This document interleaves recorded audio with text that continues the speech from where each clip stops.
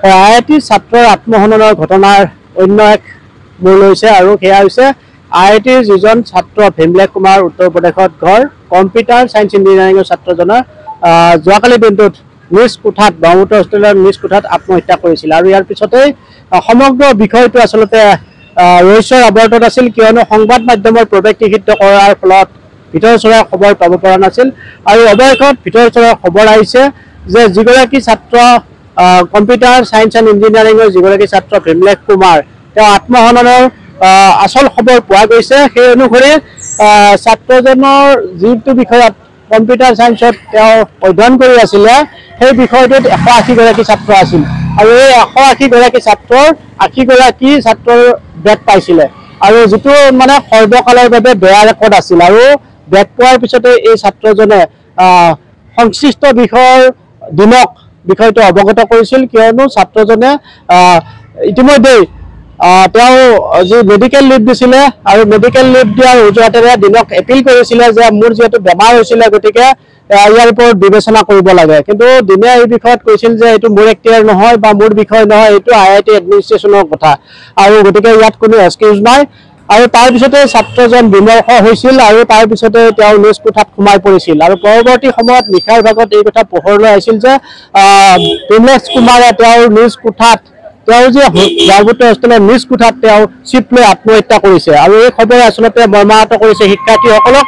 আৰু ইতিমধ্যে সমগ্ৰ আই আই টি চৌহদতে যোৱাকালিৰ পৰা নিশালৈকে বৃহৎ প্ৰতিবাদ সাব্যস্ত হৈছে আৰু আই আই টি কৰ্তৃপক্ষৰ বিৰুদ্ধে এই প্ৰতিবাদ সাব্য- সাব্যস্ত কৰিছে প্ৰায় তিনি হাজাৰৰ অধিক ছাত্ৰ ছাত্ৰীয়ে কিয়নো আই আই টি গুৱাহাটীত এটা মাহতে দুগৰাকীকৈ ছাত্ৰৰ এনেদৰে আত্মহননৰ ঘটনা সংঘটিত হৈছে আৰু ইয়াৰ অন্তৰালত আচলতে আই আই টি কৰ্তৃপক্ষৰ হেঁচা বুলিও কিছুমানে ক'ব খোজে আৰু এই ধৰণৰ কথা এতিয়া বিভিন্ন মহলত উত্থাপিত হৈছে। কিয়নো আই আই টি কৰ্তৃপক্ষৰ কিছু হেমাহি বা গাফিলতিৰ বাবে এনেধৰণৰ ঘটনা সংঘটিত হোৱাৰ আশংকা প্ৰকাশ কৰিছে আই আই টি ছাত্ৰ। আৰু যোৱাকালিৰ দিনটোত আমি দেখিছোঁ আই আই টি গুৱাহাটী চৌহদত সংবাদ মাধ্যমৰ প্ৰৱেশ নিষিদ্ধ কৰা হৈছে। যদিও আমি ভিতৰ চৰৰ খবৰ পাইছিলোঁ।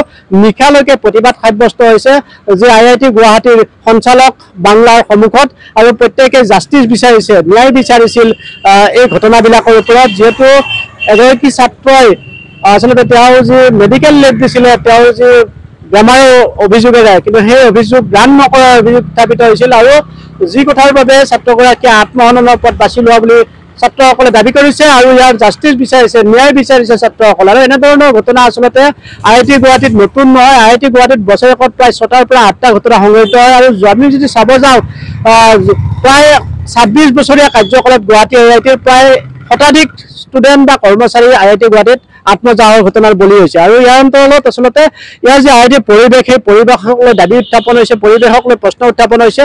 আৰু এই পৰিৱেশ উন্নত কৰাৰ বাবে ছাত্ৰ ছাত্ৰীসকলে কালিৰ দিনটোত তেওঁলোকে প্ৰতিবাদ সাব্যস্ত কৰে। আৰু এই প্ৰতিবাদ নিশালৈকে হৈছিল। আৰু বিশেষকৈ ক'ব লাগিব যে আই আই টি গুৱাহাটীৰ আই আই টি গুৱাহাটীৰ সন্মুখৰ যি পৰিৱেশ আচলতে সুৰাৰ বিপণীৰ পৰা আদি কৰি বিভিন্ন ধৰণৰ অসামাজিক ঘাটি আচলতে আই আই টি গুৱাহাটীৰ সন্মুখতে দেখিবলৈ পোৱা যায়।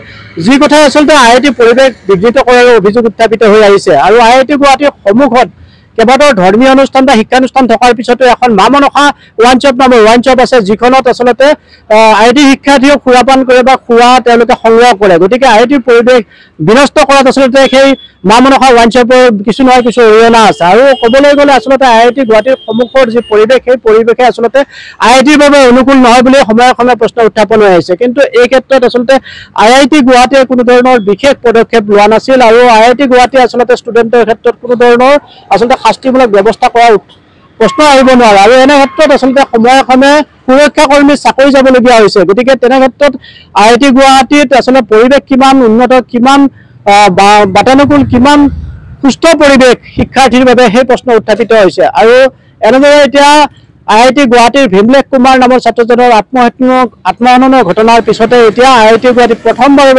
প্ৰতিবাদ সাব্যস্ত হৈছে। এনেদৰে মুকলিভাৱে ওলাই আহিছে। কিয়নো আই আই টি গুৱাহাটীত কোনো ধৰণৰ প্ৰতিবাদ কৰিবলৈ হ'লে আচলতে বহুত অসুবিধাৰ সন্মুখীন হ'বলগীয়া হয় শাস্তিৰ সন্মুখীন হ'বলগীয়া হয় কি কৰ্মচাৰী কি ছাত্ৰ ছাত্ৰী কিন্তু এইবাৰ সকলো বাধা নেওচি তেওঁলোকে মুকলিভাৱে আই আই টিৰ ভিতৰতে প্ৰতিবাদ সাব্যস্ত কৰিছে আই আই টি কৰ্তৃপক্ষৰ বিৰুদ্ধে।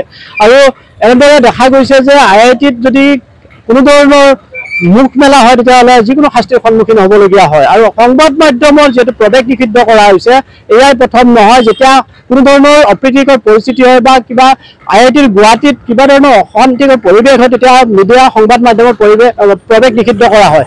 কিন্তু বছৰৰ সকলো সময়তে সংবাদ মাধ্যমক আমন্ত্ৰণ জনোৱা হয় পাব্লিচিটিৰ কাৰণে। কিন্তু ট্ৰান্সপাৰেঞ্চি আচলতে আই আই টিত কিমান দূৰ আছে সেয়া এতিয়া প্ৰশ্ন উত্থাপন হৈছে। কিয় আই আই টি গুৱাহাটীত যিকোনো ঘটনা ঘটিলে আচলতে নিষিদ্ধ কৰা হয় সংবাদ মাধ্যমৰ? এনেধৰণৰ বহু কথা এতিয়া উত্থাপন হৈছে আৰু আই আই টি গুৱাহাটীৰ শিক্ষাৰ্থী এতিয়া সকলোৱে সদল বলে ওলাই আহিছে আৰু আই আই টি যি উচ্চ শিক্ষা প্ৰতিষ্ঠানৰ বিৰুদ্ধে এতিয়া প্ৰতিবাদ মুখৰ হোৱা দেখা গৈছে।